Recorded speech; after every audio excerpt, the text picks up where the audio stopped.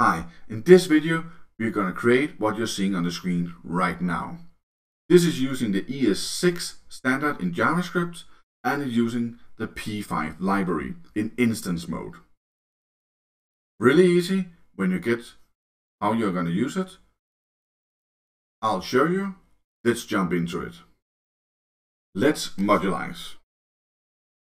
In the index, instead of having the sketch, let's do a main. And in this, we're going to make a new one, main.js, and save. Now we have the main file, and nothing is in here. In the index, let's create some divs. Let's call one red. We don't need that. And another one we'll call gray. Third one we'll call green. Why we're going to use these, I'll show you in a, in a minute. So save these. The sketch we're going to rename. Let's call it ball in diff. Just to call it something. And this is going to be different. We're still going to have the ball. So, but we're going to do export default class and we'll call it ball in div. And it's going to have a constructor. Going to move all of this into the constructor.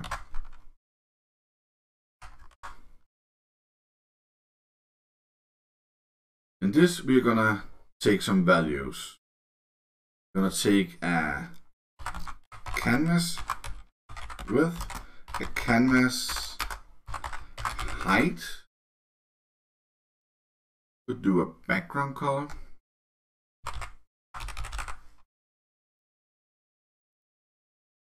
And we want a ball size.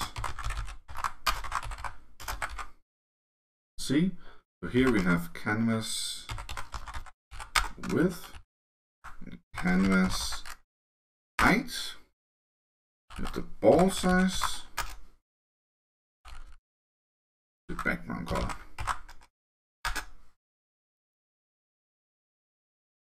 Let's save that. Oh, and we need one more thing. Because in here, in the P5, after the function. This all this function is a parameter an argument we are sending into the P5 instance. And the P5 instance can take two arguments. One, which is what is highlighted right now, and also a div that will be the standard container where it puts everything. So we can do this, and for example, called div. And let's say take this here. This means now that we can include this, not in the ball, but in the main. Let's say import from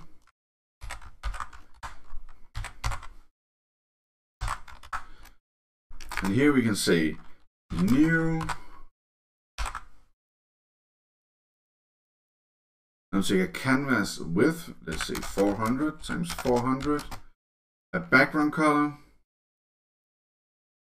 Let's start with the dark gray. And a ball size 20. And then the div, and that was the gray one. Let's see what happens. We have we have a mistake of some kind. Let's see what it is. Reference ball is not defined. And it's ball in diff, it's not defined. Import ball from ball. Oh, here we need the let ball. There we go.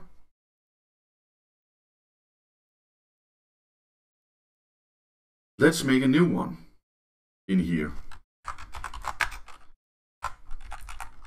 And let's say that has to be in the gray, no, in the red, and we also want to make it red. Make it smaller if we want. Let's see what happens. Whoopsie. And here's the thing. The red one is above the gray one. Because if we go into index HTML, the red one is above the gray one here. We could change this. Say this should be in the red and this should be in the green. And it'll change. Let's make another one. Just to see if we can change it even more. Let's make this green.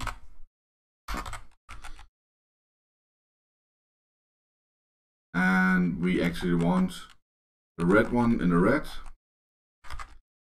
We want this in the gray. See what happens.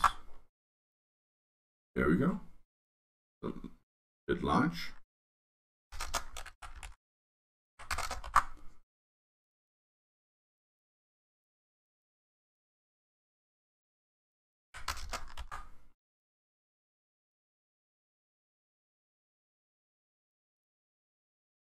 Something wrong, isn't there?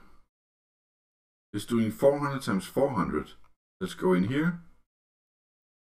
Oh, we use the canvas width both places. It's the canvas height. There we go. And we can move these if we want. Let's say this, we want this in the green one, this one in the gray instead. We'll move them around. This is just one example of how to use it. You can use it in any other way you would like. Maybe you want to combine it with some CSS grids where you can put it anywhere. It's all up to you how you want to use it. I hope you could use the, what you saw in the video. If you liked it, please hit the like button. If you would like to see more in the future, please hit the subscribe button. Thank you for watching and have an awesome day.